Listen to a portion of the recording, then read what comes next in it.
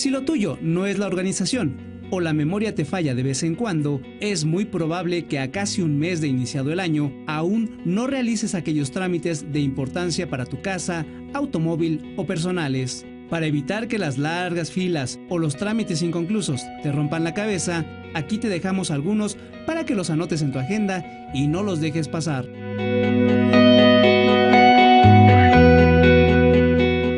Lo primero que debes asegurar es el pago de los servicios de tu casa, como lo es el suministro de agua, energía eléctrica y teléfono. Pero un trámite que no debes dejar pasar es el pago del predial. Si deseas cubrir el costo de este impuesto, podrás hacerlo con la boleta que llega a tu domicilio, o bien podrás realizarlo a través del portal de la Secretaría de Finanzas. Debes tener a la mano el número de cuenta predial para solicitar el pago de impuesto vigente y obtener el formato único con el que puedes acudir a bancos y tiendas de autoservicio.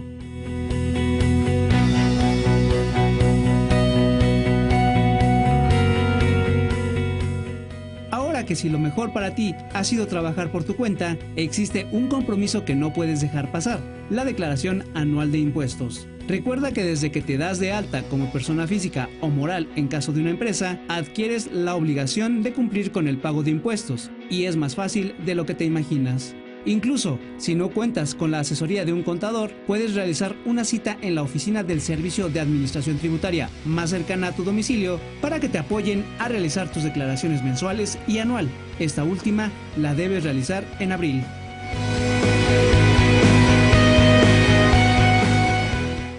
Trámite que debes tener en cuenta es la reposición o renovación de tu tarjeta de circulación lo deben realizar los propietarios de vehículos, motocicletas o remolques por los siguientes motivos: vencimiento, robo, extravío o mutilación. Deberás consultar los documentos necesarios y acudir a los módulos de licencias y control vehicular. Recuerda que la vigencia de este documento es de tres años y es necesario para verificar tu auto o realizar el pago de la tenencia.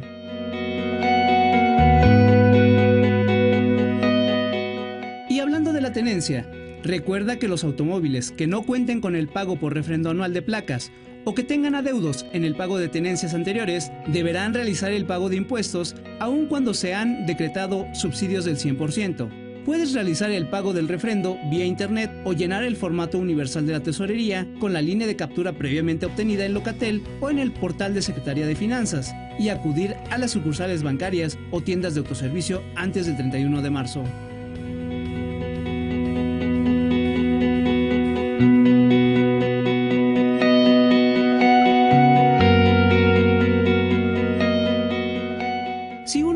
Propósitos de Año Nuevo es viajar fuera de México, el trámite del pasaporte es imprescindible y aunque no lo creas, obtener tu documento migratorio toma poco tiempo y no requiere una inversión considerable. Contar con él, además de permitirte salir del país, es sinónimo de tener una identificación oficial adicional que puede apoyarte si pierdes tu credencial de elector. Completar esta sugerencia de trámites, te decimos que contar con la visa estadounidense no solo te permite planear un viaje al vecino país del norte, también representa la oportunidad de conseguir vuelos con tarifas atractivas a otros países haciendo escala en Estados Unidos. Las autoridades estadounidenses han facilitado el trámite de tal modo que para obtener la visa de no inmigrante debes ingresar al portal del consulado estadounidense y llenar el formato DS-160. Una vez que lo hagas, se te dará una clave con la que podrás tramitar y pagar la cita por internet. El trámite se realiza en dos fases. La primera es la toma de tus datos biométricos en el centro de atención al solicitante. Después, deberás acudir a la embajada estadounidense para la entrevista con los funcionarios consulares. Con uno, Joel González.